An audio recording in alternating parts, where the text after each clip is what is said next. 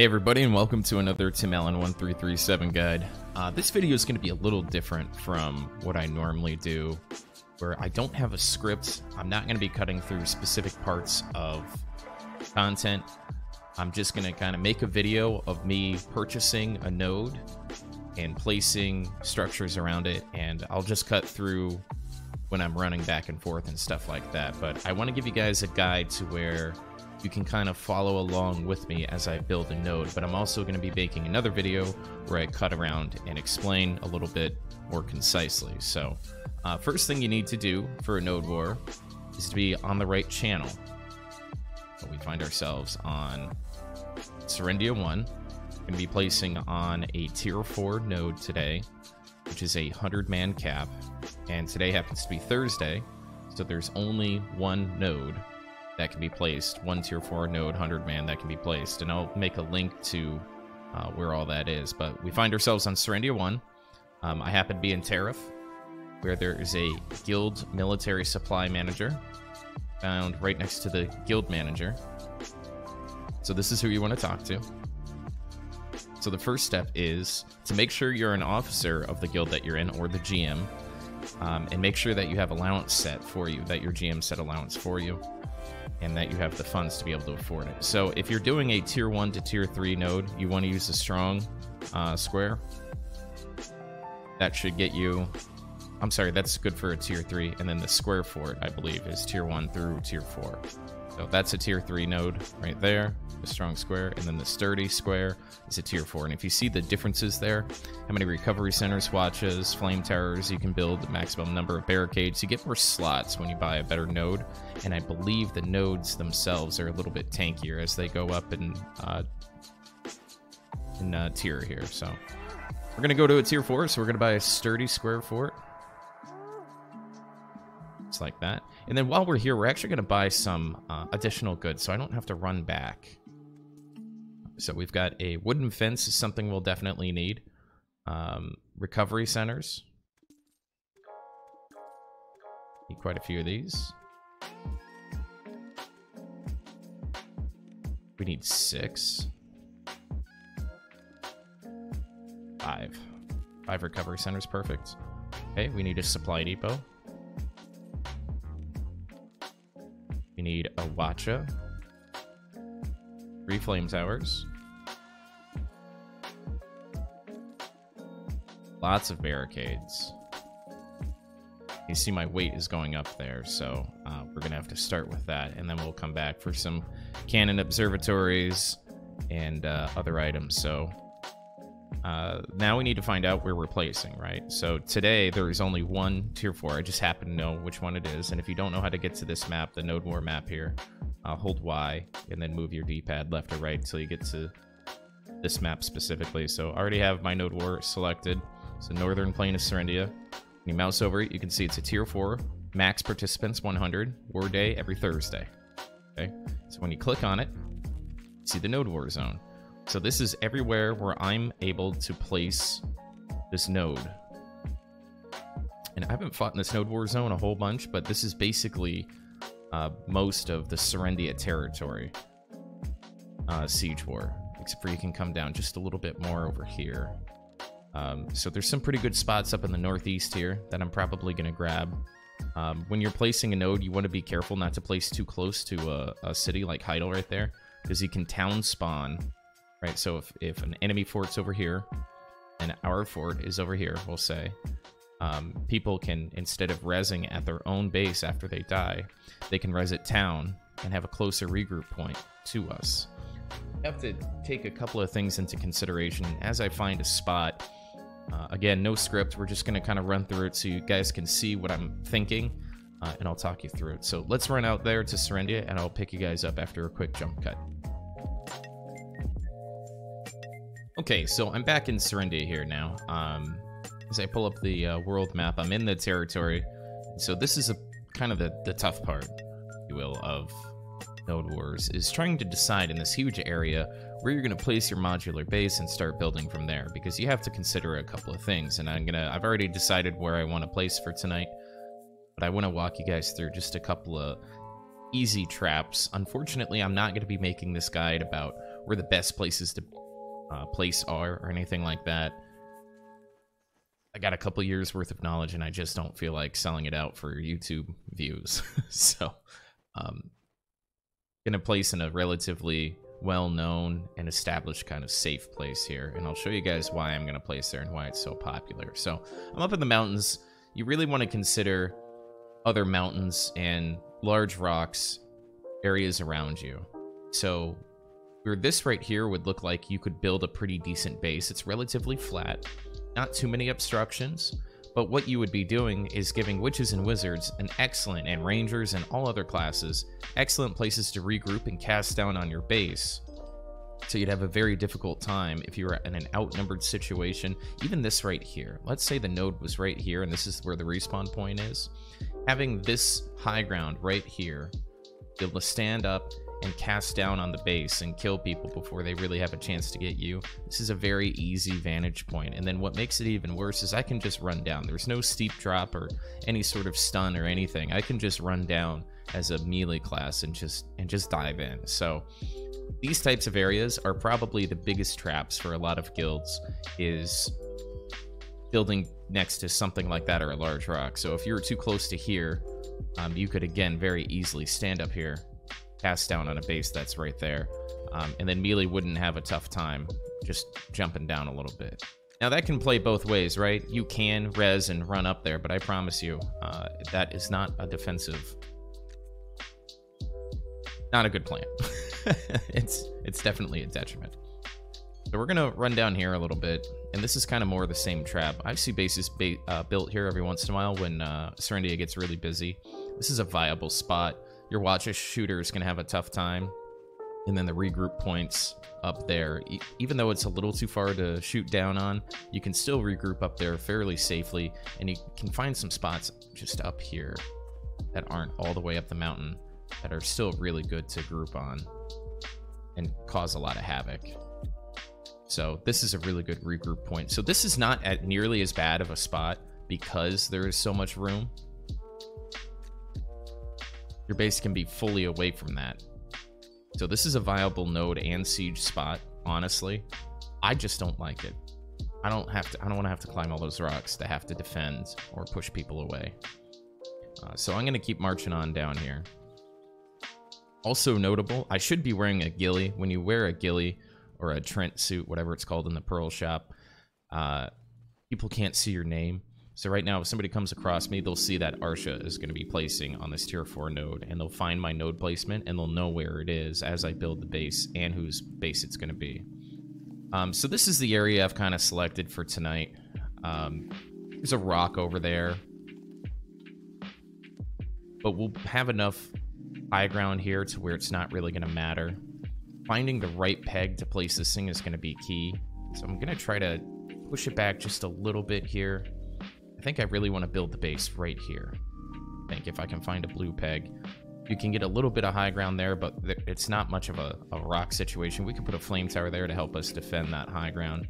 Very open, not a lot of obstruction. Watcha could still shoot over on those rocks if they decided to uh, group up there, but I, I think we're pretty close out of meteor range uh, if we just play it right. You can see there's some player structures over here or some non-player structures over here that'll always be in the game that'll play both ways.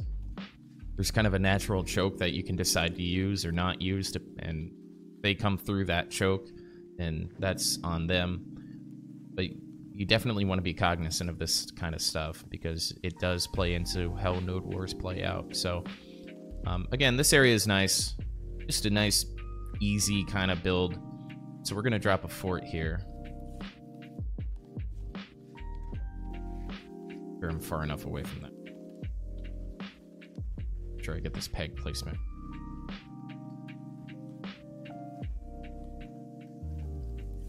Should be fine here.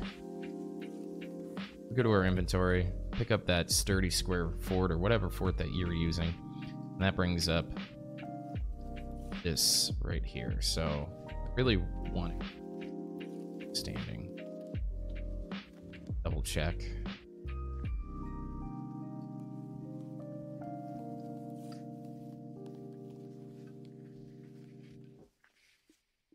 So that'll be good right there.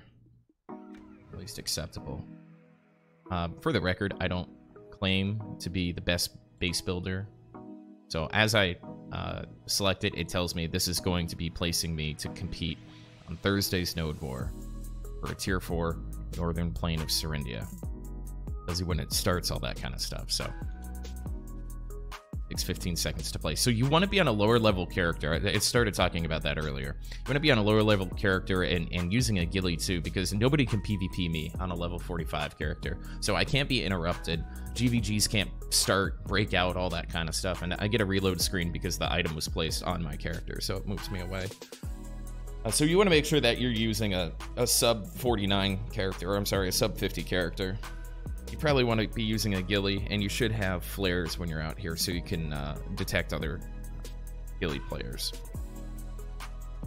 So those are kind of the basics. So there's my fort. It takes an hour to build. I can rip it up at any point within the hour, but once an hour has gone by, I am 100% dedicated to being on this node. If you check the world map, there's my fort. And if you pick Northern Plains of Serendia, you can see it says one fort built. That's my that's my fort. Okay, so now we got a place to fight. Um, the next step is placing our annexes. Okay, so let's talk about strategies for placing annexes. Um, Personally, I like to start with flame towers. Uh, you can start with a Hwacha or a gate or anything else. You don't. There's no specific order. But as far as what I like to do is start with the flame towers because that starts creating some kind of natural funnels.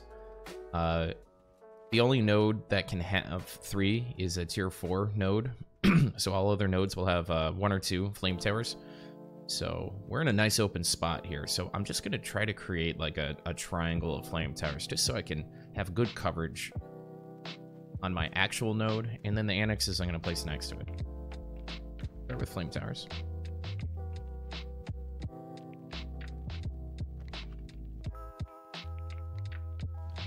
There.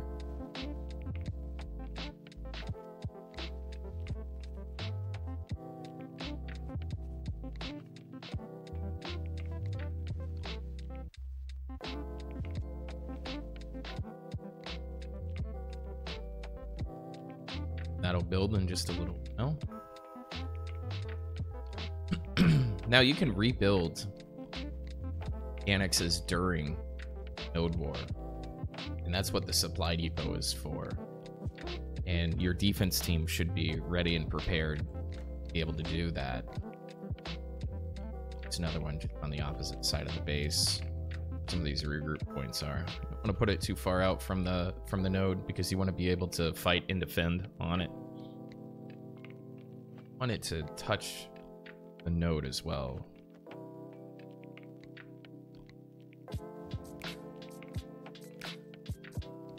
This one might be a little far out, but it's kind of my... I use the third, if you will, flame tower to be a little more aggressive, and then I'll bring the other one in Oh, coordinate. Placed it too far out or too close to that.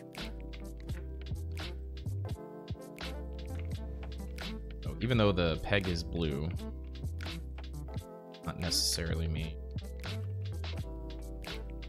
Let's see what the true. Just because the peg is blue does not necessarily mean that you can place it there, unfortunately. Place it right on my reload it, but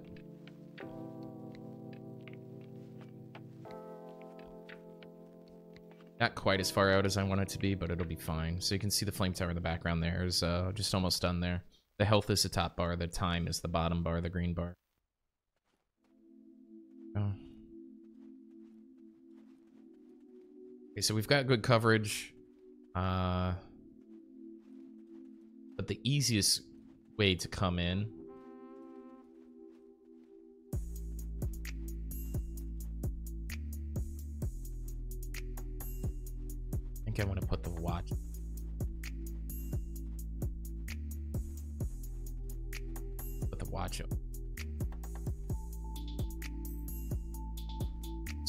by that flame tower. But it can also hit up this mountain if they decide to try to cast down from over there. so up there. That flame tower is a little vulnerable. Some of these rock placements here.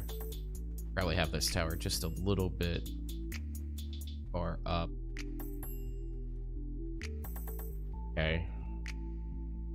Let's see if we can sneak a watch in.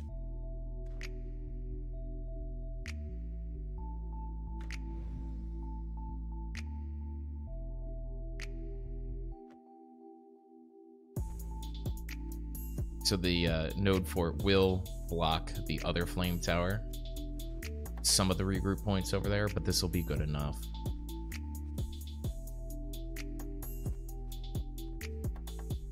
tell you right now, there's no perfect placement for a Hwacha. These annexes are actually surprisingly tanky, we found out in our last node war too, so they can kind of hold their own a little bit think the only thing that I'm really sus susceptible to right now is a full regroup on this rock right here. With maybe their backline witches and wizards up on this rock. You know, they're less geared people. Let's see how far. Yeah, they could group up right here, but that they're going to be dealing with that watch it pretty heavy. Arsha is one of the best geared and most populated guilds, so I find it to be an acceptable risk even though we're planning for a 2v1 tonight. See how that plays out, though. So that's a good watch-up placement. The other place that they could group up at, feel good about it, right up in this area. So if they're over here, they're, they're too far away to really be effective, and that watch is going to be hitting them from this distance. So this is what you have to do when you build a base, especially if you're new at this, is you really need to take a look at your base every once in a while and see if you were attacking it, how difficult would it be to come from some of these spots that would look good to regroup. So really their only point of entry right now, they can run straight in south. Gonna have a tough time with that watch. I don't want to double up flame towers back here because then that's gonna make this too juicy of an area. I almost rather them come in towards the Hwacha uh, and funnel people towards that. We can go heavy on the barricades for the lack of flame tower coverage.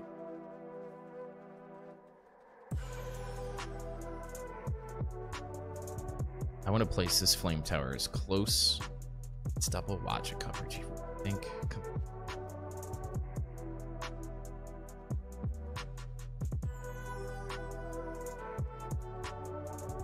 Trying to decide between this side and the other side. Don't want to put a flame tower back here. Doesn't make sense to me. Let's hold the third flame tower for now. Let's hold the third flame tower for now. Let's put the supply depot down.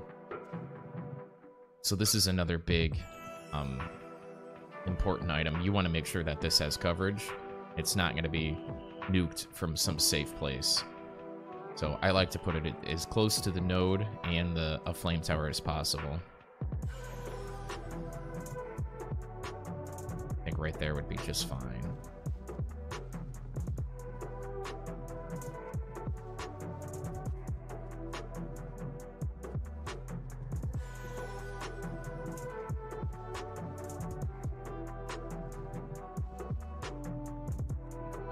On top of me so I get reloaded.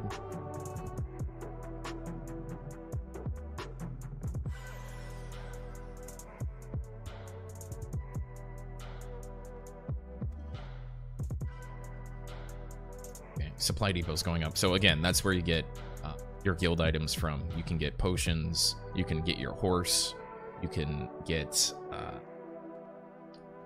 you can repair your gear, all that kind of stuff from the supply depot. So it's extremely important. You want to make sure that it's covered. Um, let's get this wooden fence up. So this is this is probably going to determine where put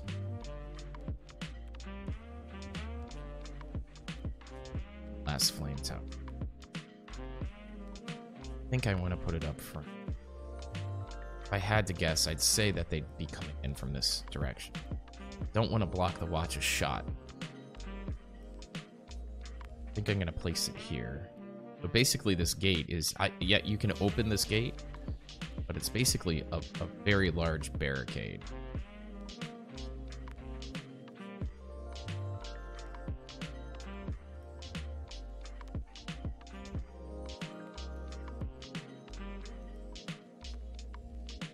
You put it too close to like the supply depot that's building, there's actually going to be a pretty good chance of splash damage.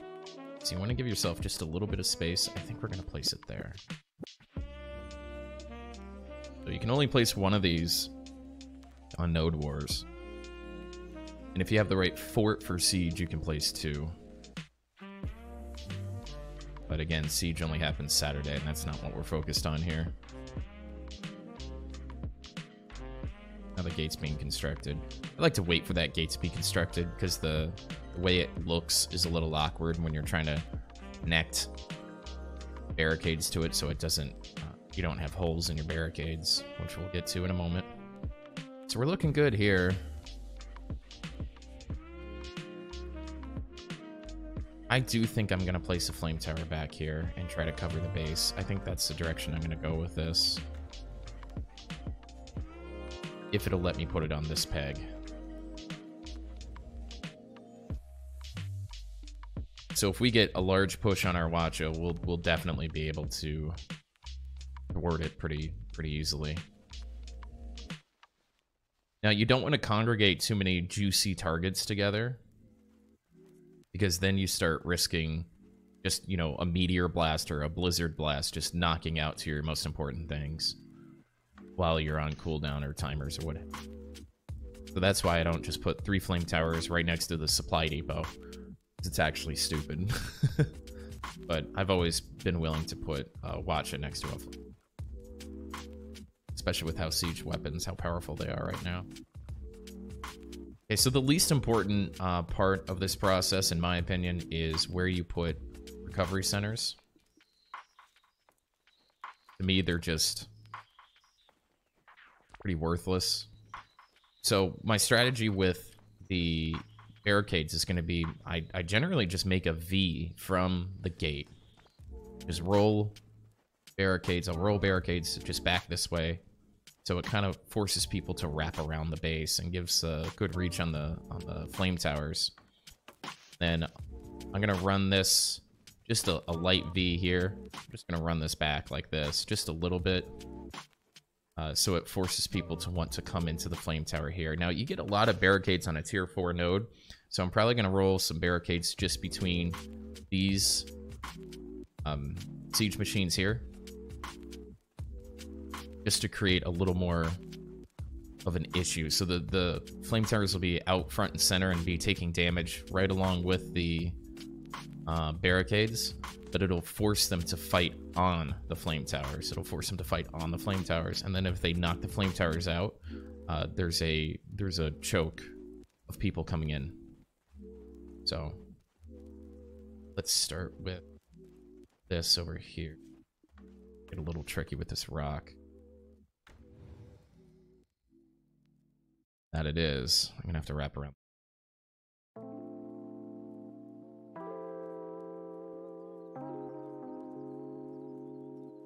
Hit the item.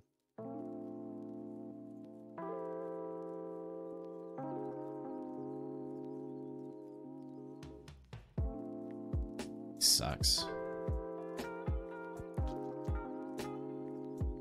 Start straight.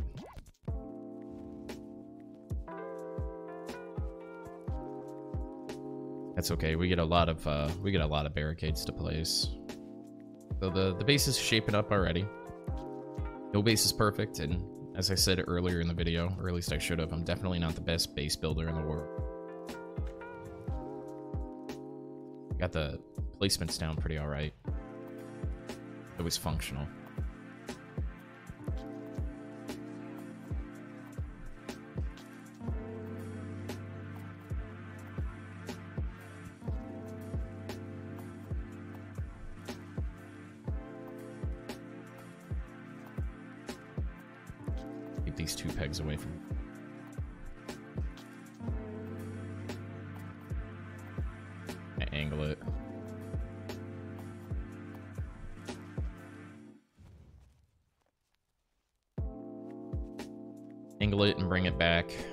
Create some uh, space for us to have some recovery centers and then make that flame tower worth something if people push in from this direction.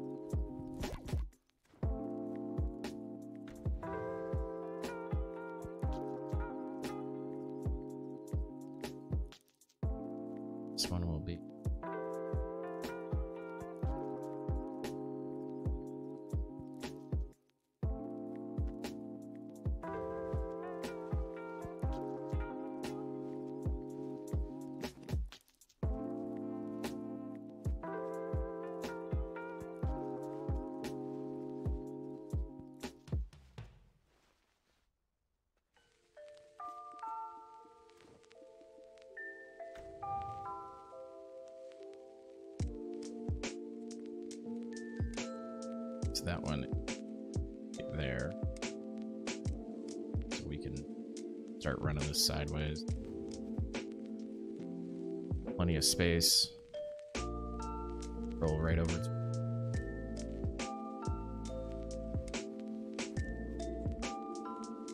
So this is the tedious part, if you haven't noticed. Building barricades is definitely the tedious part, but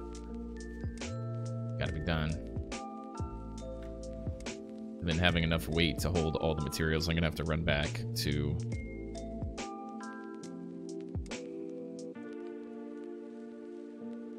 idle. Freaking see, man. To grab more barricades. Uh, and then there'll be another run which I probably won't put in the video, but there's ammo. I'll show you guys next time when I get to the uh, supply depot, or the, uh, the guild manager, that there's uh, ammo for the flame towers that you have to load them up with too, so that'll be the last part. Getting the watch on the flame towers filled with ammo.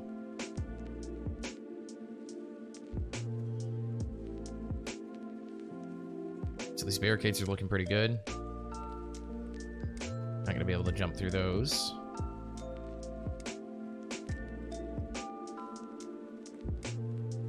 Uh, just a little trick that I learned. Just like to put a barricade close enough. These trees are killing me. Like to put a barricade close enough to the Hwacha so it can shoot itself and facing the Watch. So that's going to look funny little bit of distance there, but the flame tower's sitting right on it too, so it'll be fine. So the Watcher will be able to shoot the node to kind of protect itself, and it'll be able to shoot this uh, barricade behind it if it's still alive when that flame tower goes down, or if that flame tower goes down. And at the very least, it'll be a really weird distraction for people who have no idea what they should be hitting. if you put a watch up on a hill or something, it's absolutely necessary to do this. Um, the way we've got this node built right now. A little more of a luxury. Just doing it to show you guys.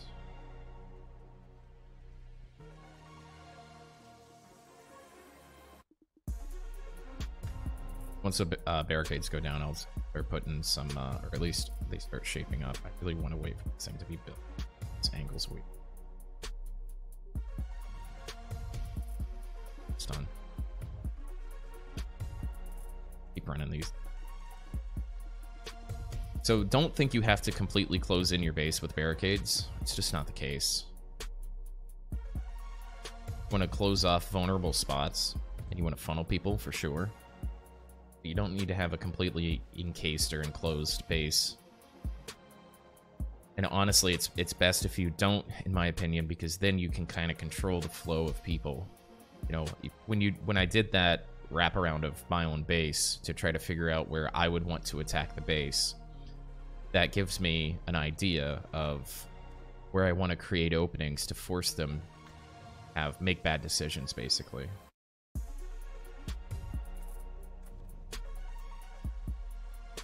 So the placement mechanics are, uh, it takes a little getting used to. My previous experience playing this game definitely helps. That's why I wanted to make a, a long scriptless video so you guys can get a feel the timing and the thought process of, of stuff.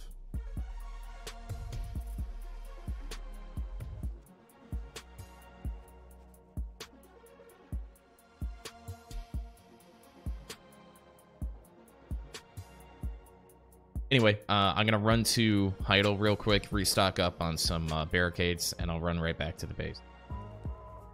Okay, so I'm back at the base here. I've got some cannon observatories and a couple more barricades. Um, I've placed a couple of these barricades just real quick to move the video along here. Um, but so what we're going to do is we wrapped around this tree. I don't love that I had to do that, uh, but unfortunately that's the reality of the situation. Sometimes you really can't foresee some of these things until you start building the base. Uh, and so what we're to do is get a better this so I make sure I up number one.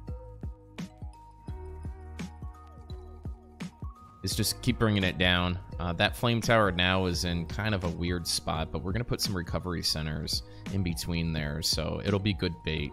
Recovery centers help reduce the amount of time that it takes to recover or um, to respawn. And so early on, they're pretty much just bait. They're kind of a tertiary um, splash damage kind of object that you want to hit. But some newer players and people that want to get sweaty will go after them. So I love putting them in 80 spots, right? So if you if you put them someplace where they're free and out in the open, that's one thing, but putting them next to flame towers and stuff like that, hopefully you bait some melee in to get some free kills. So I'm putting one cannon observatory out. I don't know what our cannon team looks like or if we have anybody interested or anything like that, but uh, just in case, I'm going to put a cannon observatory down. And then we're just going to kind of sprinkle these recovery centers into the base, um, I could, I again, could not be less concerned about the placement of these things. You just put them by something that can protect them, and if you can't, fuck it. but try to keep it within the confines of the base.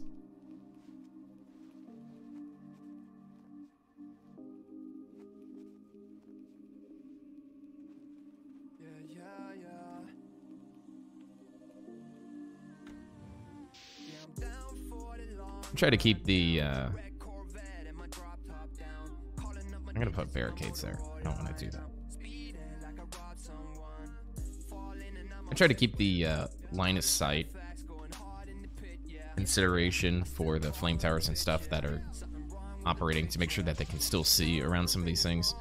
Uh, but sometimes they just have to suffer.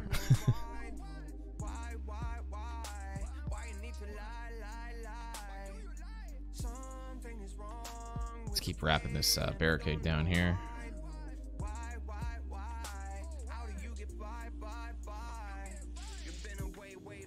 So I'm to show you guys what I did on the other side in a second and explain why I did it that way.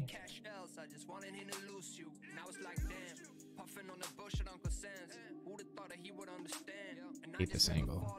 It's a second peg. Uh, so down the other side, the uh, barricades we're going to run right into the Hwacha, so we're going to wrap around that Hwacha just a little bit.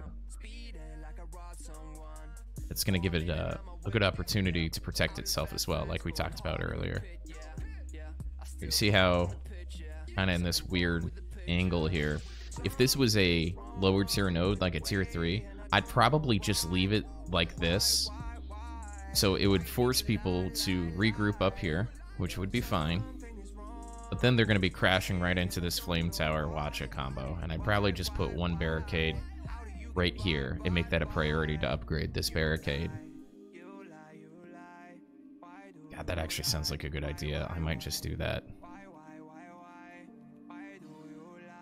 Because even this choke... I'm gonna do that. That's that's a good idea.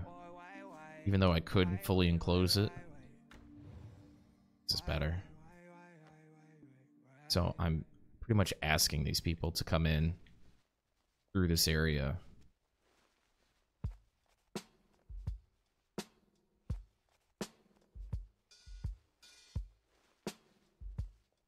gonna reload my game here.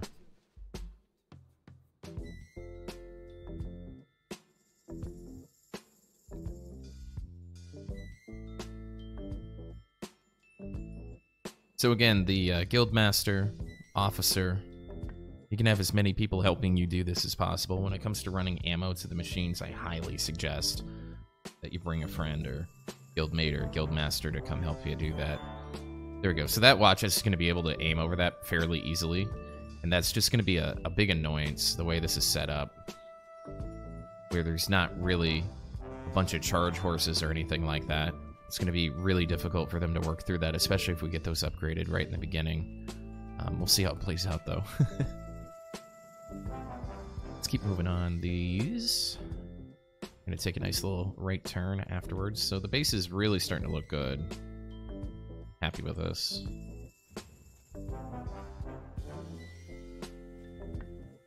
Got some space for some extra recovery centers. I don't like stacking too many things together. That one area there with the two recovery centers, supply depot, flame tower, that's that's a little too congregated for what I normally try to do. But, you know, again, sometimes it'd be like that. If I had another, if I wanted to put another cannon observatory down, I would definitely consider moving it on the opposite side of the base.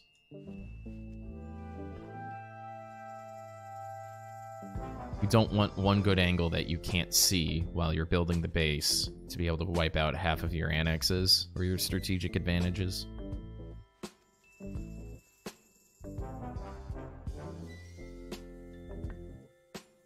See, we're starting to funnel them towards the back of the base. It's going to be easier for us to defend.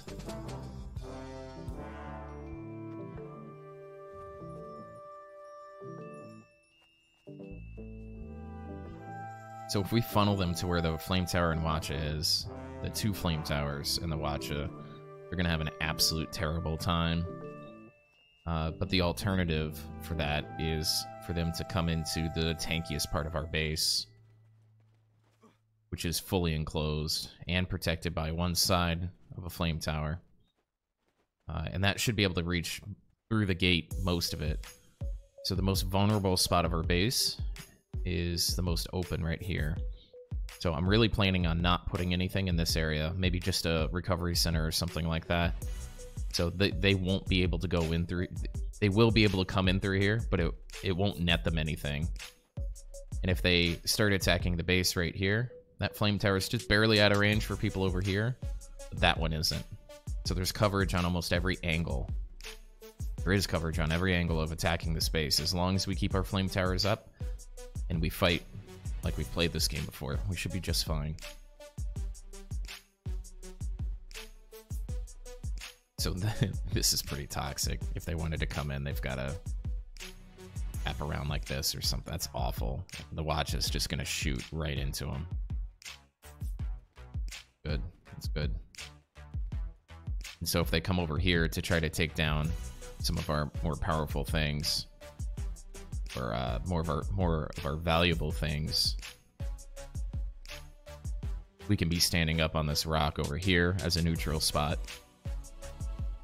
and uh, catch them out, or we can just be up this hill.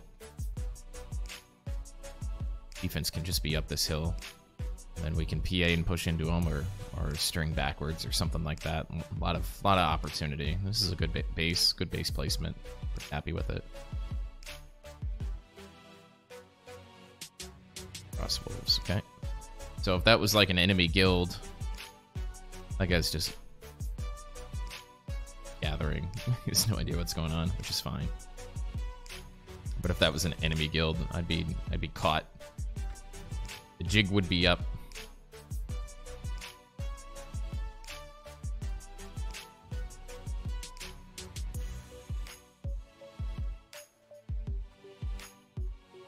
So I'm going to take a couple of pictures of the space and send it to my defensive coordinator. Let him know uh, what the priority is to upgrade the barricades, which you do with uh, 15 iron ingots and 30 melted copper shards. Uh, and then he's going to coordinate his defense team to have some extra annexes in case something gets knocked out, specifically supply depots. We should have a good node war. I'm going to be streaming all of my Node Wars on uh, twitch.tv slash timallen1337. So if you want to check it out, uh, join my Discord. Uh, I announce when I have Node Wars all the time. I'm going to be creating a uh, more cut up version, more of a guide of how to do this versus me just talking about node war placement and giving you all of my information that I have as I place a base together. So this base is pretty much done. I'm just going to pepper in a couple extra recovery centers, but this gives you the complete idea, in my opinion, of how to build a base. Um, the only hole in the space is the holes that I want them to come through. So we're inviting them to think that this is a weakness when really it's a, it's a meat grinder. So I'll put maybe one or two barricades in here again just to obscure it a little bit and put the rest of the recovery centers down. But um, there's no real wrong way to build a base. I just really suggest you guys keep things inside of barricades at, if you can. Uh, the only exception is a Hwacha. Every once in a while, you can throw if there's a good hill or something like that, putting a Hwacha on a piece of elevated territory is almost always a good idea. So that's going to be it for me on this video. I will do a uh, more concise video, probably release it at the same time. So uh, watch both, watch one. Thanks for watching. Catch you guys next time.